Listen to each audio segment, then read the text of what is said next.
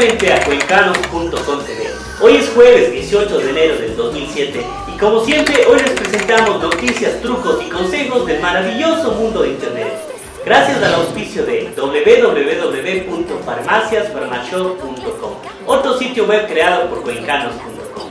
Para hoy tenemos de diseño de páginas web, hosting, dominios y todo lo relacionado. Los creadores de Skype lanzan televisión por internet de banda ancha. Evita los molestosos spyware con SpyBot. ¿Y cómo te puedes robar los iconos emotivos de tus contactos en el Messenger? Aquí te lo enseñamos.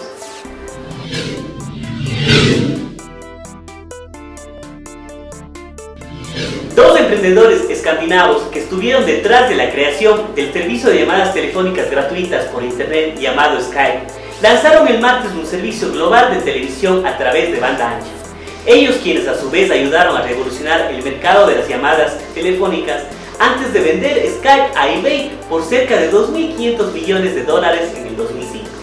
Su nuevo negocio de televisión llamado Host, que inicialmente se llamaba The Venice Project, ha sido financiado gran parte del dinero de la venta de su antes compañía llamada Skype.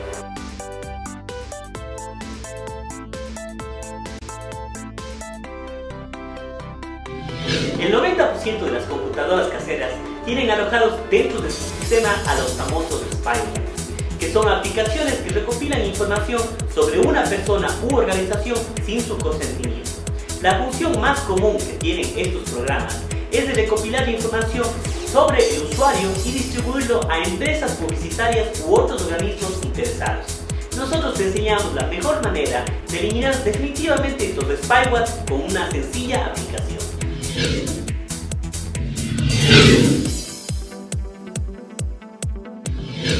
Visitamos la página www.spybot.info es index.html. Aquí hacemos clic en Download Here de cualquiera de los servidores que distribuyen este programa. Inmediatamente comienza la descarga.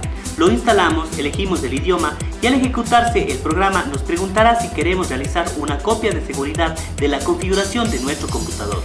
Luego como siguiente paso nos pedirá si deseamos buscar actualizaciones, ya que es muy necesario debido a que existen nuevos spyware y una aplicación como esta es necesario que esté actualizada. Hacemos clic en buscar actualizaciones y el programa las buscará por internet. Este proceso sí que es demorado y varía dependiendo de la conexión que tengas.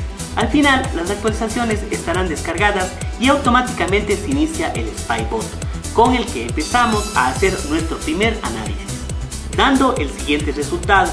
En primera instancia encontramos este que es un espía. Como lo sabemos, pues hacemos clic en esta barra y nos muestra la información del archivo que dice cookie espía o cookie de un sitio espía. Para eliminarlo, solamente hacemos clic en solucionar problemas. Spybot guardará un registro del análisis, por lo que otros programas podrían detectar spyware dentro de las carpetas de Spybot. Esto es normal, ya que solamente son registros, más no spyware en su forma original.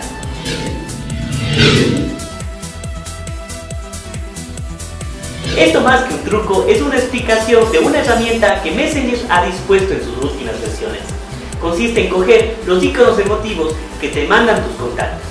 Esto es muy sencillo, veamos a continuación. Cuando chateamos, hay veces que nos envían iconos emotivos graciosos y quisiéramos tenerlos guardados para también utilizarlos. Lo único que hacemos es Seleccionamos el icono emotivo que nos han mandado, hacemos clic sobre este y con el botón derecho del ratón escogemos la opción agregar. Lo guardamos y ahora sí, podemos nosotros también usar estos iconos emotivos graciosos en nuestro computador. Así que ya sabes, todos los iconos emotivos que te lleguen puedes robártelos y presumirlos con tus otros contactos. Lastimosamente ha terminado otro programa más, pero mañana continuamos con más información del maravilloso mundo de Internet. No olvides escribirnos a nuestro correo tv.cuencanos.com con tus comentarios, sugerencias o si deseas que en nuestros programas hablemos de un tema en particular. Soy Enrique Rodas y esto fue cuencanos.com TV. Viajes por el mundo virtual, conoce a Cuenca de forma real.